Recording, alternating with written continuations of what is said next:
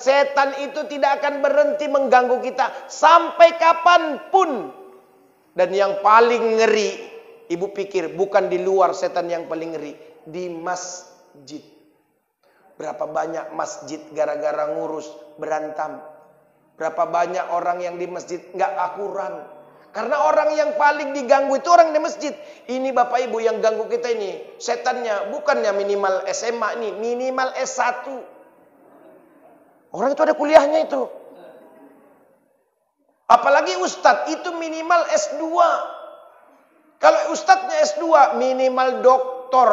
Itulah setan tuh. Jadi di masjid itu setannya banyak.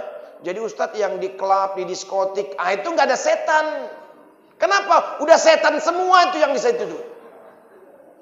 Maka kata setan sesama setan nggak boleh saling mengganggu. Jadi yang paling banyak itu di masjid, Pak. Kita datang ke masjid, kadang gara-gara rapat sap aja, kita rapatkan kaki, kita udah nggak enakan. Nyenggol sikut kawan, besok nggak mau ke masjid. Gara-gara dia nggak dipilih jadi imam, udah merajuk. Ada model begitu. Itu yang paling rawan di masjid. Betul nggak Pak Buyung ya? Pak Buyung ini sahabat saya ngurus masjid. Udah bertahun-tahun beliau ngurus masjid itu. Ada aja selisihnya. Begitu. Karena setan itu tidak akan senang melihat kita. Makanya kalau udah kita tahu ajak saudara-saudara kita yang lain. Ibu-ibu jangan berhenti ajak keluarga kita. Kalaupun kadang banyak alasannya, betul nggak bu? Kak ngaji yuk kak, nantilah kapan? Nanti kalau aku udah kawin, udah kawin dia kak nggak ngaji kak, nggak bisa napa, lakiku nggak ngasih. Nanti katanya kalau udah punya anak.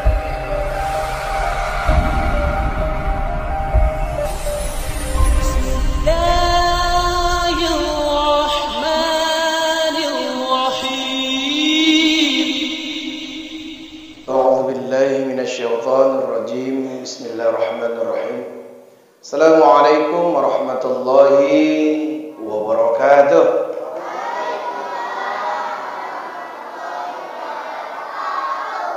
الحمد لله حمدا شكرا لله. والصلاة والسلام على رسول الله وعلى آله وأصحابه ومن والاه La hawla wa la quwata illa billah Allahumma salli wa sallim Wa barik ala Sayyidina Muhammad Wa ala ali Sayyidina Muhammad Qala Allah A'udhu billahi minasyaitanir rajim Kul in kuntum tuhibbun Allah Fattabi'uni yuhibbukumullah ويغفر لكم ذنوبكم والله غفور رحيم. فقال رسول الله محمد صلى الله عليه وسلم في الكتاب الحديث بسم الله الرحمن الرحيم.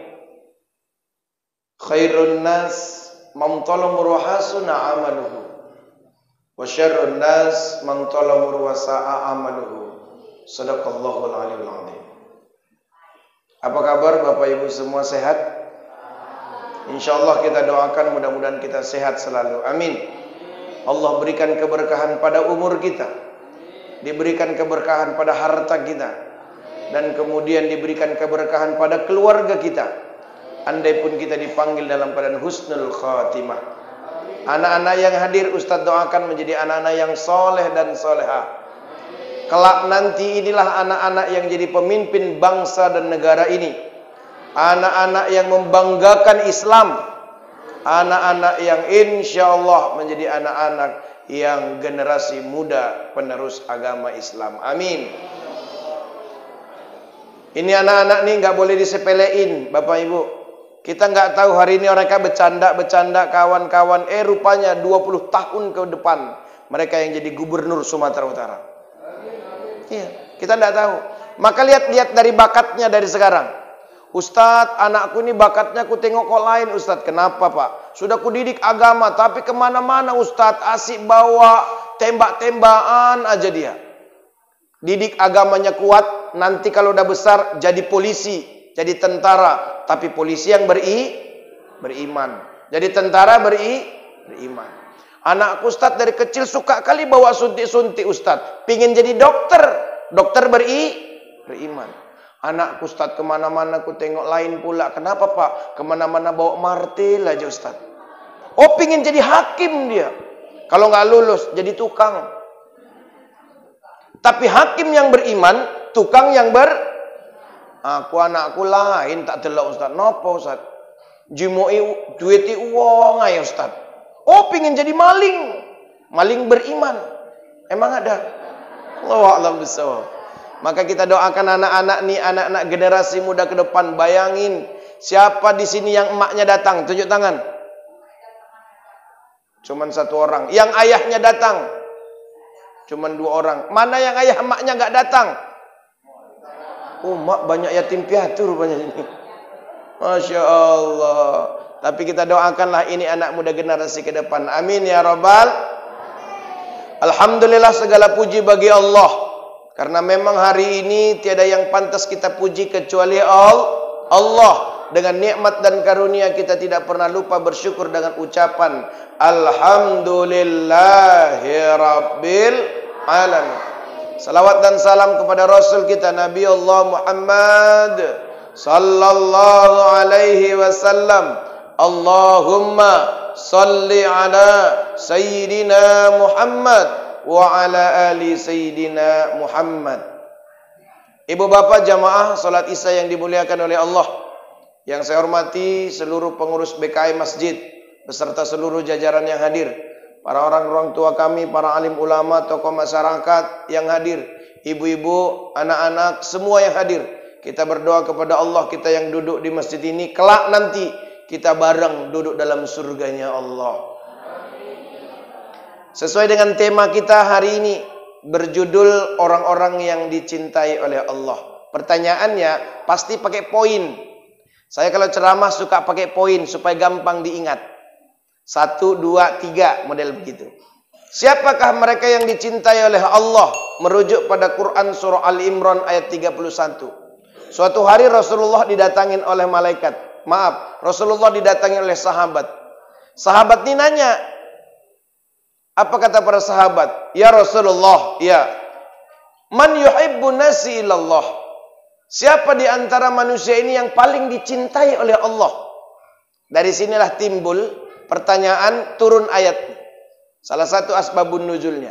Apa kata Allah? Kul in kuntum tuhibbunallah. Ya Muhammad katakan kepada mereka. Di antara orang-orang yang aku cintai kata Allah yang pertama, coba catat. Apa itu? Mereka juga mencintaiku kata Allah. Kalau kita pingin dicintai oleh Allah, syarat utama adalah kita juga mencintai Allah. Orang kalau sudah sama-sama cinta, itu dunia kayak milik bersama. Coba lihat dulu waktu ibu masa waktu cinta cinta sama bapak. Bapak jatuh cinta sama ibu. Ke mana nempel aja berdua. Kayak dunia ini milik mereka berdua aja. Yang lain ngontrak. Pokoknya jangankan nyebutkan namanya. Kalau orang udah jatuh cinta bu, lihat atap rumahnya aja. Seneng banget. Padahal rumah bapak tuh di daerah Sunggal Sudut sana. Ibu tuh tinggalnya di daerah Mencirim. Disempetin untuk belok lihat rumahnya aja, nggak nampak orangnya, nggak apa-apa. Yang penting kelihatan rumahnya. Udah seneng banget. Itulah kalau orang udah sama-sama jatuh cinta. Artinya cintanya berbalas. Jangan biarkan Allah cuma mencintai kita, tapi kita tidak mencintai Allah. Anak-anak Ustadz cinta nggak sama Allah? Anak-anak Ustadz cinta nggak sama Allah? Nanti kita buktiin, betul nggak cintanya? Ada ciri-cirinya orang yang cinta pada Allah tuh. Tapi paling tidak kalau orang udah sama-sama jatuh cinta, orang-orang sudah saling mencintai, itu bu indah. Tapi kalau enggak, namanya bertepuk sebelah tangan. Ibu cinta mati sama bapak, tapi bapak sampai mati nggak pernah mencintai ibu. Itu sakit. Orang kalau udah namanya jatuh cinta kepada Allah ada dua cirinya. Minimal ciri orang yang jatuh cinta pada Allah tuh yang pertama lisannya rajin menyebutkan nama Allah. Lisannya nggak pernah berhenti berzikir kepada Allah. Lisannya tidak pernah putus untuk membesarkan nama Allah. Sambil jalan zikir, sambil masak zikir, sambil kerja zikir, duduk di masjid zikir, dengarin ceramah zikir. Ustadz zikir itu mana Ustadz? Zikir itu subhanallah, itu tasbih namanya. Alhamdulillah, tahmid namanya. Allahu Akbar, takbir namanya. La ilaha illallah, tahlil namanya. Lalu itu apa Ustaz? Itu namanya lafaz zikir. Harus bedain. Lalu zikir itu mana Ustaz? Zikir itu pekerjaan hati. Tapi yang kita sebutkan itu lafaz. Kalau bisa, lisannya dilafazkan, hatinya dijikirkan. Ada orang ku tengok zikir lisannya banyak, kenceng. Tapi nggak bermakna. Kadang ada orang bu zikirkan subhanallah, subhanallah, subhanallah. Jelas kalimatnya subhanallah. Alhamdulillah, alhamdulillah, alhamdulillah. Allahu Akbar, Allahu Akbar, Allahu Akbar. Ada orang yang mau ngejar 33 tapi nggak jelas. Ila rabbi anta subhanallah subhanallah subhanallah subhanallah subhanallah subhanallah subhanallah subhanallah subhanallah subhanallah subhanallah subhanallah yang dibaca. Subhanallah daiman qaiman abada walhamdulillah hamla hamla hamla hamla hamla hamla hamla hamla hamla hamla hamla hamla hamla hamla hamla mau 33 tapi enggak jelas. Alhamdulillah rabbil alamin Allahu akbar lombar lombar lombar lombar lombar lombar lombar lombar lombar lombar. Gimana coba mau dapat hidayah kalau yang dibaca sumlah amlah lobar. Saya tadi praktekin. Saya nggak mau kencang. Subhanallah, subhanallah, subhanallah, subhanallah, subhanallah. Boleh 33, tapi pas. Alhamdulillah, Alhamdulillah, Alhamdulillah, Alhamdulillah, Alhamdulillah. Allahu Akbar, Allahu Akbar, Allahu Akbar, Allahu Akbar. Ada lagi orang bu zikir ku tengok, apalagi tahlilan. Tempat kami saya itu bu wirid bapak-bapak. Uh, makin lama makin kencang, kayak ada giginya. Afdal zikri fa'lam annahu la ilaha illallah la ilaha illallah la ilaha illallah itu 30 masuk 31 gigi 2 cekruk la ilaha illallah la ilaha illallah la ilaha illallah la ilaha 60 gigi 3 cekruk la ilaha illallah la ilaha illallah la ilaha illallah la ilaha illallah la ilaha illallah 80 masuk 4 il il il il il il il udah nggak jelas bacanya boleh kencang tapi pas La ilaha illallah, tiada Tuhan selain Allah. Coba kalau lai, lai, lai, lai, lai, lai. Apa coba yang dibaca? Bu, kita terjemahkan Pak satu-satu. Subhanallah artinya apa? Maha suci Allah. Kalimat maha suci hanya Allah yang suci. Kita ini kotor, Pak. Kita ini nggak bersih. Kita ini banyak dosa. Coba tunjuk di sini. Siapa di sini yang nggak punya dosa? Ada? Nggak ada. Yang ada dosanya, coba tunjuk tangan. Ada juga yang nggak tunjuk tangan. Yang nggak tunjuk tangan berarti banyak kali dosanya. Kita ini banyak dosa. Betul nggak bu? Kenapa kita hari ini masih mau datang ke masjid, nengok orang kita masih bagus, kita lihat orang masih cantik? Karena Allah masih menutupi dosa-dosa kita. Kalau Allah buka aib kita ini, Allahu Akbar. Kita hina pak, jujurlah. Kita yang tahu apa maksiat yang pernah kita lakukan dengan Allah. Andai Allah buka, malu pak kita ke masjid. Bu, beneran. Ibu datang ke masjid malu dengerin ceramah malu. Ustadz pun malu menceramahin. Karena apa? Kita punya aib masing-masing. Tapi Allah tutupin aib-aib kita tuh. Maka kalau kita udah punya aib, jangan dibuka-buka. Kita udah tahunya kita jahat, nggak usah bilang-bilang. Eh, aku ini biar kalian tahu ya, mantan preman ini. Nggak ada yang nanya padahal. Udah tutupi aja. Aku coba bang dulu. Mana coba minuman apa yang gak ku minum dulu? Semua ku minum. Mulai dari topi miring, topi lurus, topi mereng, semua aku minum. Nggak usah bangga, itu aibnya dulu, tutupin. Ibu, ibu, kalaupun dulu ada suaminya dulu pemabuk, ada suaminya preman, tutup bu, jangan bilang ke mana-mana. Kalau ada orang nanya Ustadz, oh bu, bu iya, suami ibu itu dulu preman ya? Oh enggak. Tapi kata orang dulu preman, Allah preman anak-anak muda biasalah dulu. Tutupin. Ini ada pula ibu tuh yang bangga. Bu, laki ibu preman ya. Oh. Medan Sunggal dan sekitarnya ini semua dia kenal. Siapa coba yang nggak takut sama dia? Uh, bangga pula. Pantas bu, ku tengok. Kenapa kau tengok? Ada tato di sininya bu.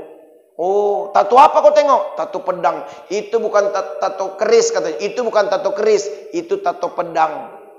Tapi karena laki kuda tua ya keriput kayak keris dia bengkok gini. Bu, gak usah dibanggain. Tutup aibnya. Setuju, Bu?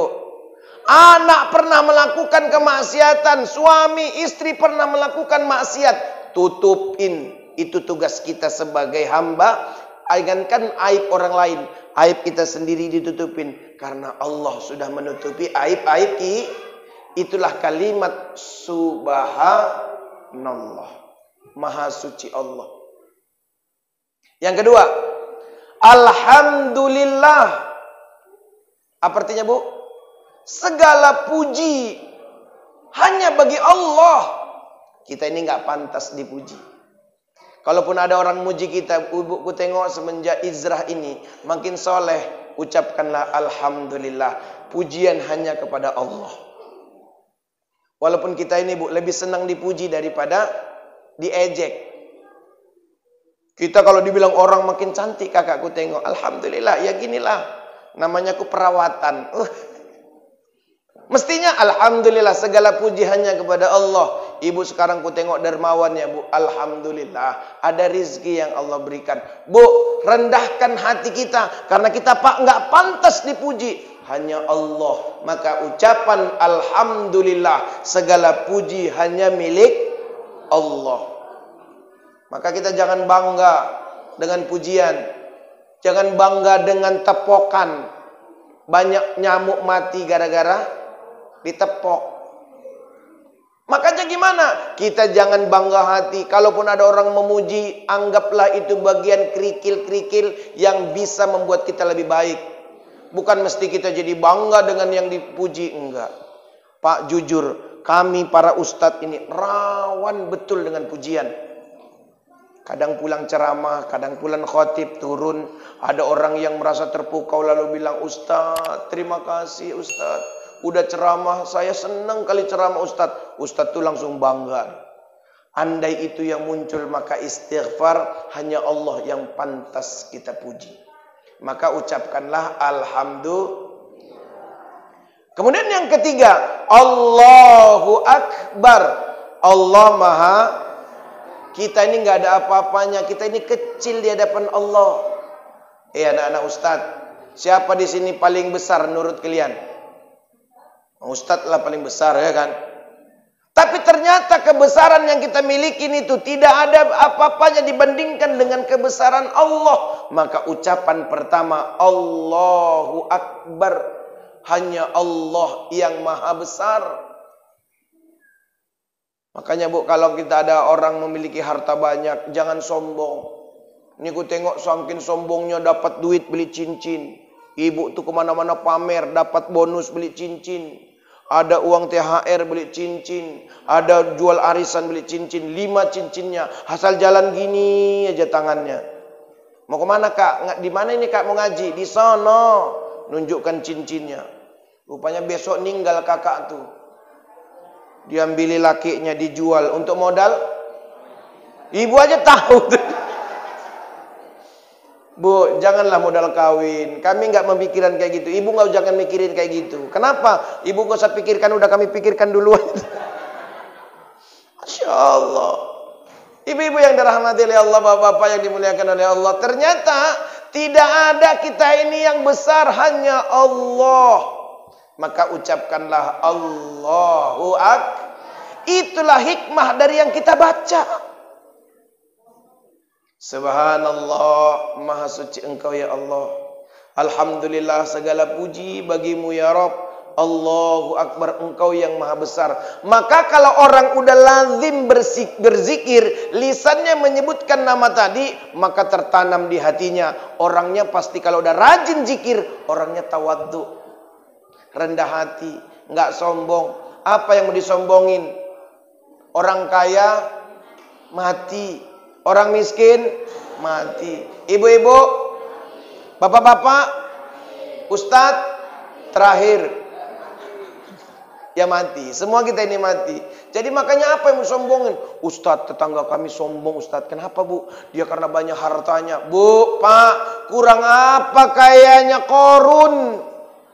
Ma, Ustadz di kampung ini dia paling hebat jabatannya tinggi. Ustadz kedudukannya tinggi. Kurang apa Fir'aun? Ustadz dia sombong Ustadz karena cantiknya Ustadz. Asal maju cantik, mundur cantik.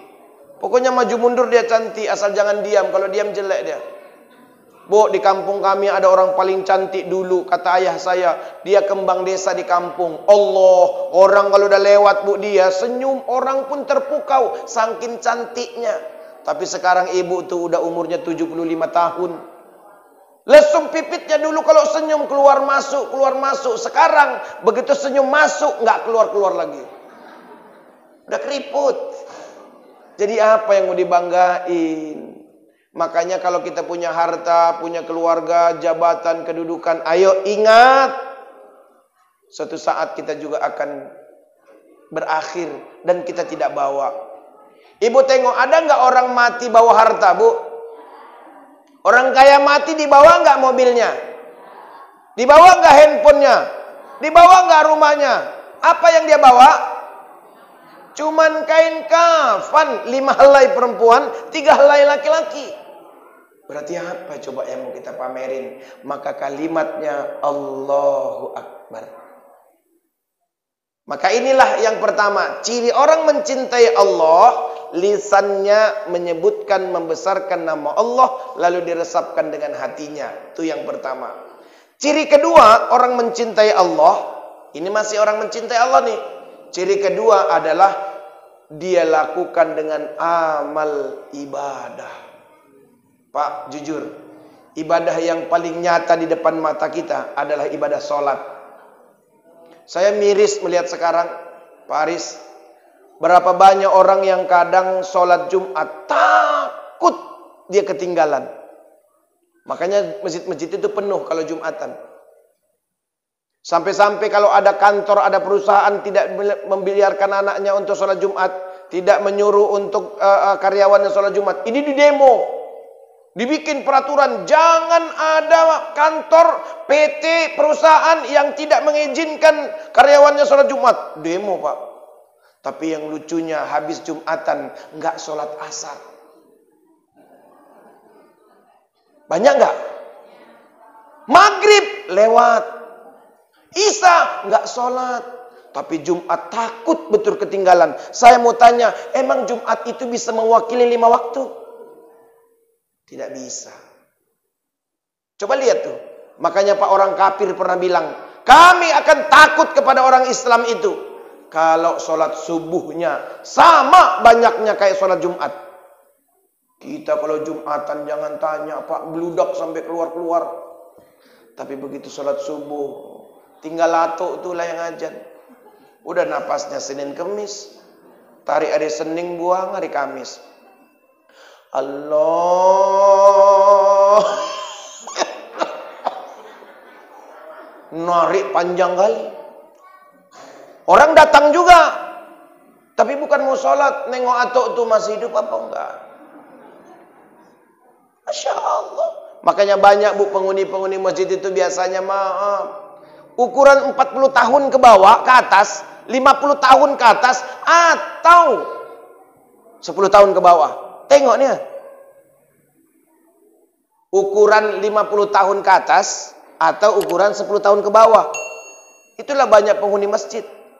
Makanya ada satu pepatah mengatakan Allah mencintai orang-orang tua yang rajin ibadah. Tapi Allah jauh lebih mencintai anak muda rajin ibadah. Kalau orang tua rajin ibadah, biasa. Biasa nggak bu? Nenek-nenek rajin ke masjid, biasa nggak? Kakek-kakek sholatnya di masjid lima kali, biasa nggak? Ya udahlah, memang iya. Masa udah nenek-nenek juga masih dugem, nenek-nenek juga masih TikTok, kakek-kakek juga masih main di warung, yang tinggal dua kali kalender lagi nggak sampai. Tapi Allah mencintai anak muda yang rajin ibadah. Allah mencintai orang kaya yang rajin sedekah. Tapi Allah jauh lebih mencintai orang susah masih mau sedekah. Orang kaya sedekah hebat gak bu? Hebat gak? Enggak. Kenapa? Karena banyak hartanya. Tapi ada orang miskin masih mau sedekah. Itu baru hebat. Ibu mau jadi biasa atau mau luar biasa? Iya. Maka sekarang bu, jangan tunggu dulu jadi kaya baru mau sedekah. Sedekah aja, insya Allah kaya. Jangan nunggu bahagia dulu, baru kita mau bersyukur. Tapi bersyukurlah, pasti bahagia. Karena Allah mengatakan, La in syakartum la'adzidanakum. Kalau kau bersyukur, aku tambah kata Allah. Orang kan enggak gitu. Kalau udah bahagia baru bersyukur. Kalau enggak bahagia, enggak syukur-syukur. Terbalik. Jadi gimana Ustadz? Syukur aja dulu. Pasti bahagia. Bahagia. Nih Bu, ciri mencintai Allah yang kedua dengan amal ibadah dengan sholat yang jangan kita tinggalkan. Ini anak-anak bener pak, bawa ke masjid, suruh ke masjid, ajak ke masjid. Tapi jangan suka nyuruh aja.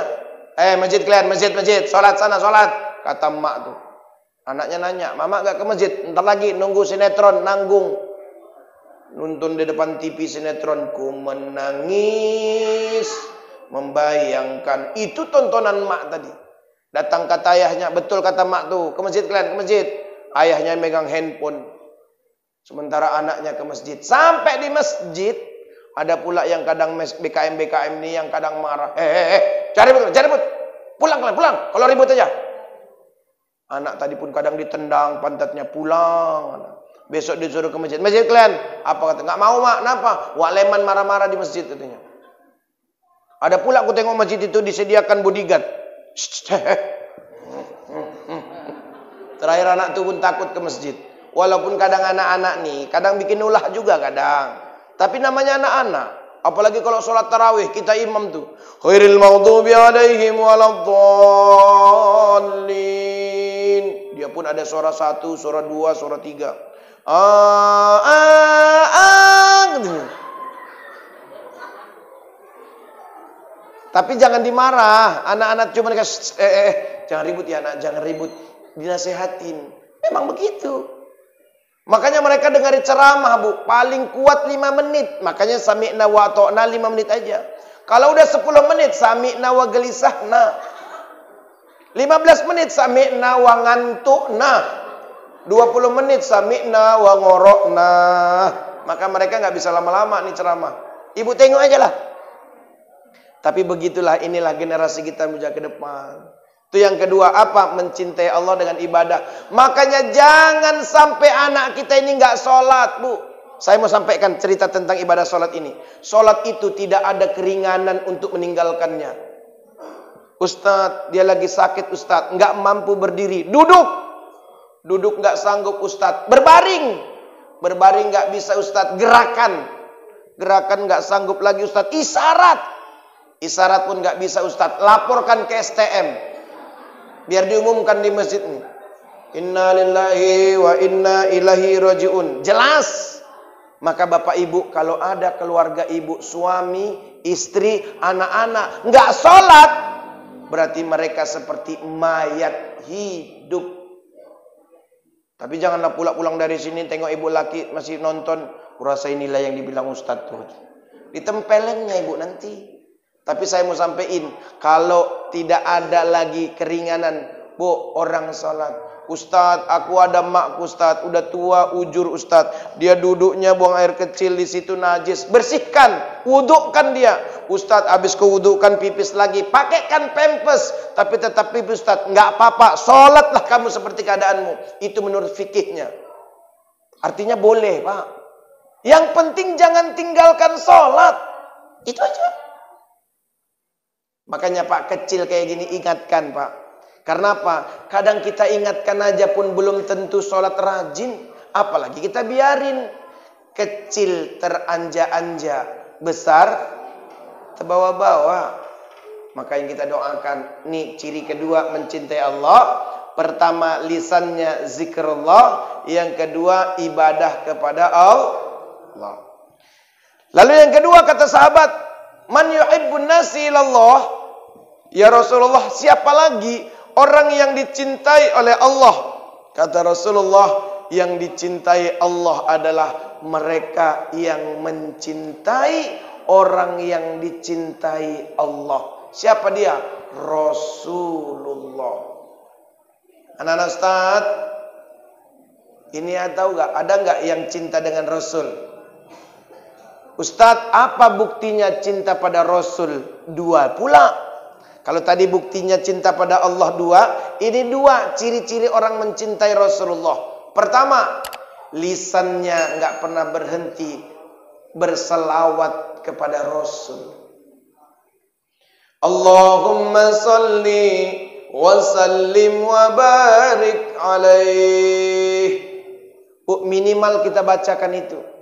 Atau salawat Jibril kita bacakan. Sallallahu ala Muhammad. Sallallahu alaihi wasallam. Atau jalawat Ibrahim.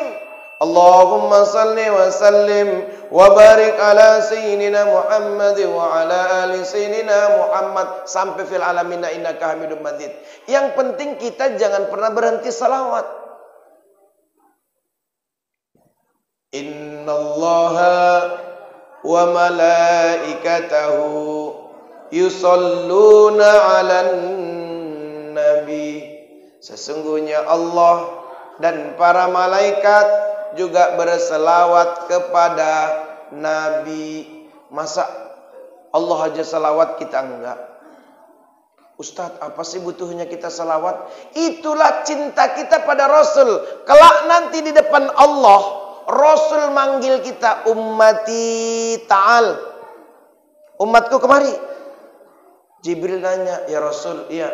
Sebegini banyaknya manusia, kok kenapa kau tandain itu? Kenapa kau kenal ibu tuh? Kata Rasulullah, dulu di dunia dia banyak berselawat kepadaku. Anak-anak Ustaz bisa selawatan? Ayo. Sallallahu alaihi sallallahu alaihi wasallam.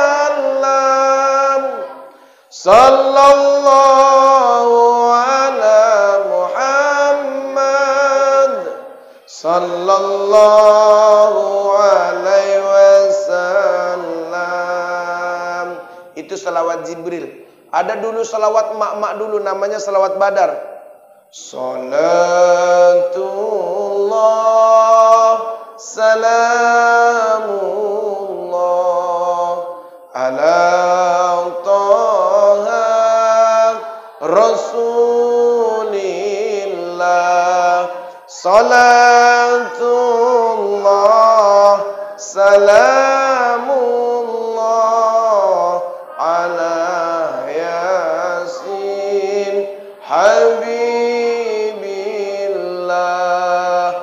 salawat dulu mak-mak bacain.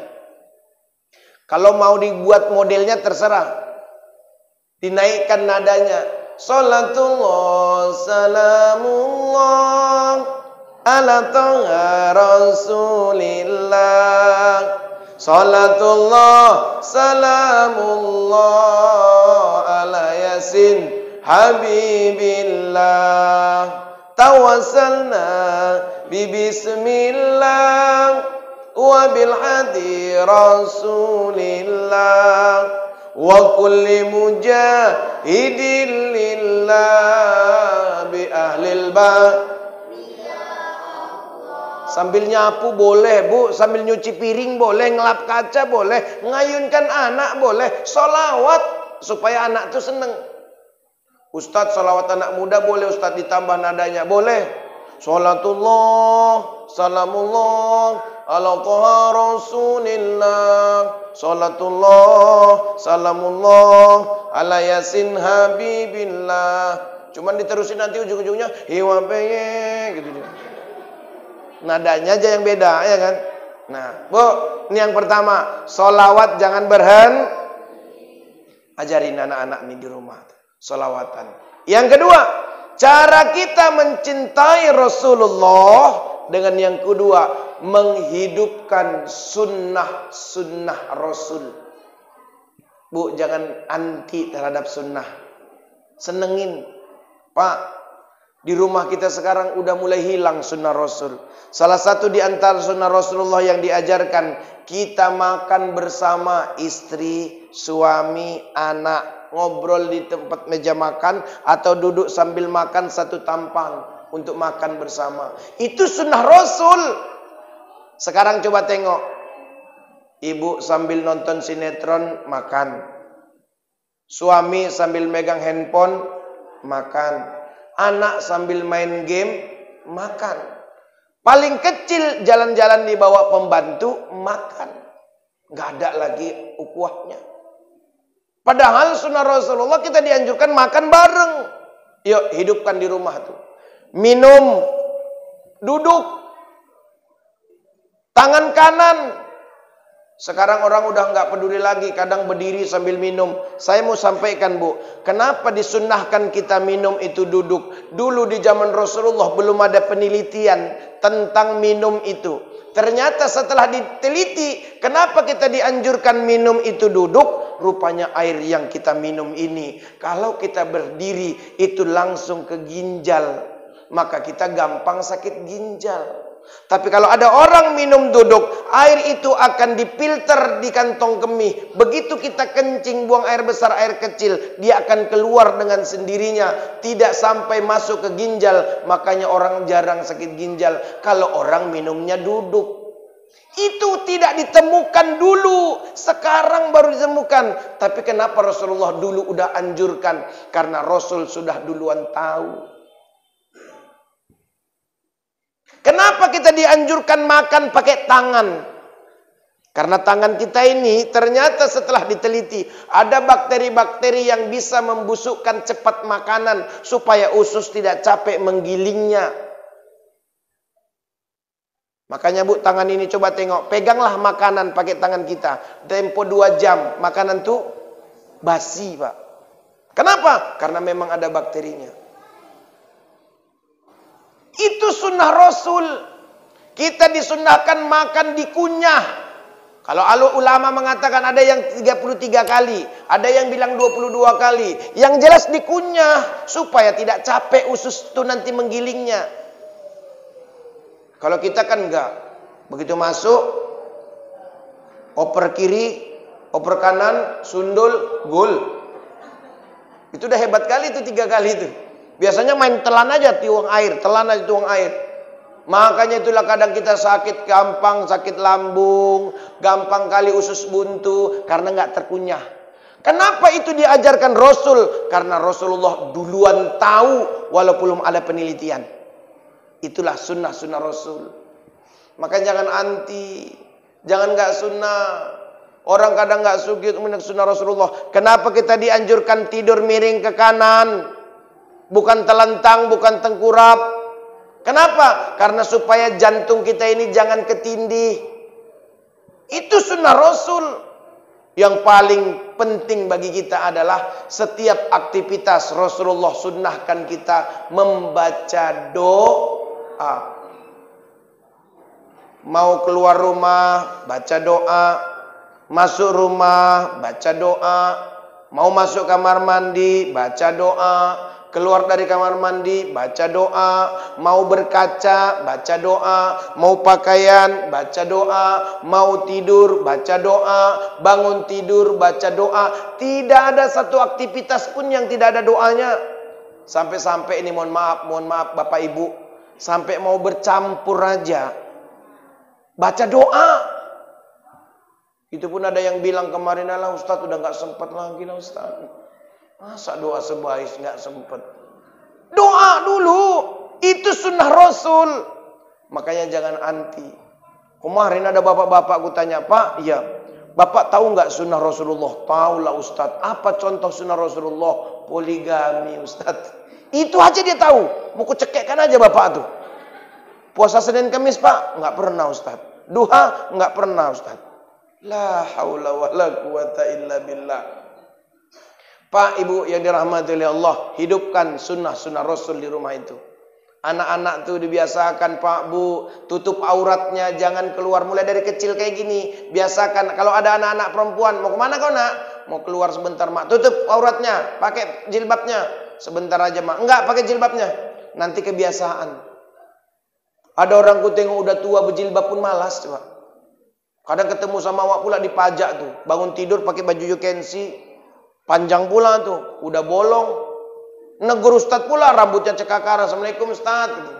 Aku nunduk ulang salam. Ih, sombong kali Ustaz. Aku bukan sombong. Ibu siapa? Aku bilang, aku jamaah Ustaz. Jamaahku gak ada yang keribu kayak ibu. Aku bilang. Aku kalau pengajian pakai jilbab loh Ustaz. Ini kenapa nggak pakai jilbab? Allah Ustaz udah tua aja. Ustaz siapa lagi yang selera? Ini bukan selera nggak selera. Kucing aja pun nengok ibu nggak selera. Aku bilang. Cuman ini masalah kewajiban. Diperintahkan buat ibu nutup aurat keluar rumah. Ini dia. Ini yang kedua, cara kita mencintai Rasulullah. Lalu yang ketiga, man yuhibbun nasi ilallah. Siapa lagi ya, ya Rasul? Orang yang dicintai Allah. Kata Rasulullah, mereka yang mencintai saudaranya karena Allah. Kita ngaji ini bu, bukan karena kita mau pingin pintar kali enggak. Kita ngaji ini bukan karena memang kita mau top enggak. Tapi kita ngaji ini pertama menghidupkan tali silaturahim. Kemudian kita memang mau pingin nanti kita bareng dalam surganya Allah. Bu, jangan berdoa buat sendiri, tapi doakan orang lain. Saya dulu guru saya pernah bilang gini, Irwan, ya Ustadz, kalau kau mau pingin sukses, jangan pernah kau berhenti doain orang lain supaya sukses. Kenapa gitu Ustaz? Karena doa itu yang kau panjatkan itu akan bercermin kepadamu. Makanya Bu, jangan pernah doain orang jelek. Doain orang bagus. Ibu duduk di depan rumah teras, ada orang naik kereta ngebut. Kita bilang mampus. Buak tabrakan. Mampus ibu. Jangan doain jelek. Ya Allah, mudah-mudahan dapat hidayah. Itu doanya. Bu, kalau ada tetangga kita kaya, jangan disumpahin. Eh, mudah-mudahan kau miskin kau nanti. Jangan. Ya Allah, mudah-mudahan kau cepat makin kaya. Karena doa itu balik ke kita. Jangan pernah doain orang jelek. Maka bu, doa itu adalah induk dari segala ibadah. Ucapan itu doa. Maka kalau ada anak-anak bu tengah malam elus-elus kepalanya, Rabbana hablana min azwajina wa dzurriyyatina qurrata ayun waj'alna lil muttaqina imama. Kita berharap nanti qurrata ayun anak itu menyenangkan jika lo dipandang. Makanya doa yang baik. Saudara-saudara kita ini kita ajak. Itulah cara kita supaya dicintai Allah. Jangan lupa ajak saudara-saudara kita karena Allah. Bang, ngaji ya bang. Ah, duluan aja lah. Tak apa-apa. Ustadz, sampai kapan aku ngajak dia? Sampai dia bosan. Ustadz, dia udah bosan Ustadz. Kalau gitu sampai ibu yang bosan. Aku udah bosan kali pun Ustadz. Tapi jangan pernah berhenti. Watawasau bil haq. Saling ingat mengingatkan dalam kebaikan. Tapi jangan lupa. Watawasau bis sabr. Bang ngaji ya bang. Nah duluan lah. Besok aja lagi. Bang nggak ngaji bang. Udah kau aja yang ngaji. Gak usah kau aja aja. Bu kalau model begini. Apalagi kadang. Udahlah. Gak usah ngaji sini aja kita sebentar. Minum-minum dulu. Ngaji pun gini-gini juga hidup kita. Nggak palanya kaya. Gitu-gitu juga susah juga. Kalau ada model begitu bu, bacakan doa di depannya. Aku berlindung dari godaan setan yang terkutuk. Sapukan ke mukanya. Insya Allah ditempelengnya gitu itu. Kita doakan pula. Bu, saya pak, saya mau bilang. Setan itu tidak akan berhenti mengganggu kita. Sampai kapan pun. Dan yang paling ngeri. Ibu pikir bukan di luar setan yang paling ngeri. Di masjid. Berapa banyak masjid gara-gara ngurus berantem. Berapa banyak orang yang di masjid nggak akuran. Karena orang yang paling diganggu itu orang di masjid. Ini Bapak Ibu yang ganggu kita ini. Setannya bukannya minimal SMA ini. Minimal S1. Orang itu ada kuliahnya itu.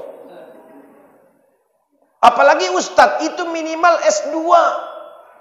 Kalau Ustadznya S2 minimal doktor. Itulah setan tuh. Jadi di masjid itu setannya banyak. Jadi Ustadz yang di klub, di diskotik. Ah itu nggak ada setan. Kenapa? Udah setan semua itu yang situ tuh. Maka kata setan sesama setan nggak boleh saling mengganggu. Jadi yang paling banyak tuh di masjid, Pak. Kita datang ke masjid, kadang gara-gara rapat sap aja, kita rapatkan kaki, kita udah nggak enakan. Nyenggol sikut kawan, besok nggak mau ke masjid. Gara-gara dia nggak dipilih jadi imam, udah merajuk. Ada model begitu. Itu yang paling rawan di masjid. Betul nggak Pak Buyung ya? Pak Buyung ini sahabat saya ngurus masjid. Udah bertahun-tahun beliau ngurus masjid itu. Ada aja selisihnya. Begitu. Karena setan itu tidak akan senang melihat kita. Makanya kalau udah kita tahu ajak saudara-saudara kita yang lain. Ibu-ibu jangan berhenti ajak keluarga kita. Kalaupun kadang banyak alasannya, betul nggak bu? Kak, ngaji yuk kak. Nantilah. Kapan? Nanti kalau aku udah kawin. Udah kawin dia, kak nggak ngaji kak, nggak bisa napa. Lakiku nggak ngasih. Nanti katanya kalau udah punya anak. Kak nggak ngaji kak, tapi udah punya anak. Anakku nggak bisa ditinggal. Nanti kalau aku bawa ribut. Jadi kapan kak? Nanti kalau anakku udah pada gede semuanya, udah pada sekolah, aku udah tenang. Anaknya udah gede, kak nggak ngaji kak, nggak bisa napa, rumah kosong. Nanti kalau pulang anak-anak nggak ada orang marah pula. Jadi kapan nanti kalau anakku udah pada kawin semuanya, aku ngaji. Rupanya udah besar semuanya pada nikah anak-anaknya, nggak ngaji kak, nggak bisa napa, jaga cucu. Cucuku nggak bisa ditinggal, nanti kalau ke bawa ribut. Jadi kapan lagi lo nek, udah tua lo nek, nggak ngaji. Engkau lah nek putukus ke dia aku ngaji. Betul, cucunya besar, nenek itu pun meninggal. Nggak ngaji lagi, di ngajiin orang dia. Alasan ada aja. Maka bu, kata Rasulullah, khairun nas anfahul linnas. Manusia yang paling baik, yang bermanfaat buat manusia yang lain. Ajak. Kawan-kawan kita itu ngaji. Ajak. Nggak usah bosan bu. Saya mau tanya begini. Kalau ada orang baik sama kita. Ibu punya tetangga baik kali. Terus kita berbuat baik juga sama dia. Kira-kira kita itu hebat nggak bu? Enggak. Kenapa? Karena kita kebaikan dibalas kebaikan. Tapi ada tetangga kita nggak baik, Bu. Ngomongi kita aja kerjanya. Mulutnya tajam setajam silet. Tapi kita selalu baik sama dia. Hebat nggak itu? Itu baru hebat. Bu, itu pernah dicontohkan Rasul. Ada seorang nenek-nenek kafir buta. Dia ngejar Rasul aja kerjanya. Padahal Rasulullah yang nyulangin.